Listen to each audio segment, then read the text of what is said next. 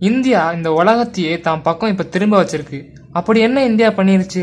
அதை பற்றின ஒரு சின்ன தொகுப்பு தான் இந்த வீடியோவில் நம்ம பார்க்க போகிறோம் நீங்கள் இன்னும் இந்த சேனல் சப்ஸ்கிரைப் பண்ணலைன்னா கீழே இருக்க சப்ஸ்கிரைப் பட்டனை ப்ரெஸ் பண்ணிட்டு பக்கத்தில் இருக்க பெல் பட்டனையும் ப்ரெஸ் பண்ணிடுங்க இது பண்ணுறது மூலயமா நான் போடுற வீடியோலாம் உங்களுக்கு உடனுக்குடனே வந்துடும் வாங்க இப்போ வீடியோக்குள்ளே போகலாம் கடந்த சில மாதங்களாக உலகையே அச்சுறுத்தி வருவது கொரோனா வைரஸ். இந்த கொரோனா வைரஸ்க்கு இதுவரை மருந்தே இல்லைன்றது இன்னொரு ஃபேக்டாக இருந்து வந்துகிட்டு இருக்கு அந்த நிலைமையில தான் அமெரிக்கா ஹைட்ராக்சி குளோரோக்வின் அப்படின்ற மருந்தை கொரோனா வைரஸ்க்கு யூஸ் பண்ணலாம் அப்படின்ட்டு ஒரு ஸ்டேட்மெண்ட் கொடுத்துருக்காங்க. இது எந்த அளவுக்கு உண்மை எந்த அளவுக்கு பொய்ன்றது அவங்க பயன்படுத்தி அதோட ஆதாரப்பூர்வமான உண்மையை வெளியிட்டதுக்கு அப்புறம் தான் தெரியும். அது தற்காலிகமாக இந்த மருந்தை யூஸ் பண்ணலான்னு சொல்லியிருக்காங்க. இந்த மருந்து உலகத்திலே இப்போ அதிகமாக ப்ரொடியூஸ் பண்ண இடமானது இந்தியா. இந்த வகையில் இந்தியா இந்த உலகத்தையே திரும்பி பார்க்க வச்சிருக்கு. இந்த ஹைட்ராக்சி குளோரோக்வின்ன்றது ஒரு ட்ரக் இது வந்து டேப்லெட் ஃபார்மில் தான் ரிலீஸ் பண்ணியிருக்காங்க. இந்த ஹைட்ராக்சி குளோரோக்வின்ற டேப்லெட் ஒரு மாதத்திற்கு இந்தியாவில் எவ்வளோ ப்ரொடியூஸ் பண்ணுறாங்கன்னா இருபது கோடி வரையும் ப்ரொடியூஸ் பண்ணுறாங்க அதில் பத்து கோடி அமெரிக்கா மற்றும் மற்ற நாடுகள் கொரோனா வைரஸ்னால் பாதிக்கப்பட்ட நாடுகளுக்கு ஏற்றுமதி பண்ணுறதுக்கு இந்தியா முன் வந்திருக்கு.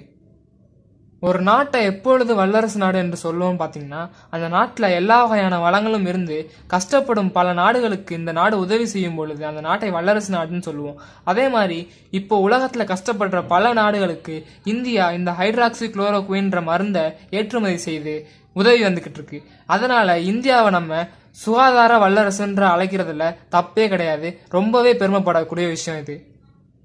நீ என்ன சொல்ற? ஹைட்ராக்சி குளோரோக்குவினை மற்ற நாடுகளுக்கு ஏற்றுமதி பண்ணால் இந்திய நாட்டு மக்கள் என்ன பண்ணுவாங்க? அப்படின்ற கேள்வி உங்கள் பலருக்கும் எழலாம்.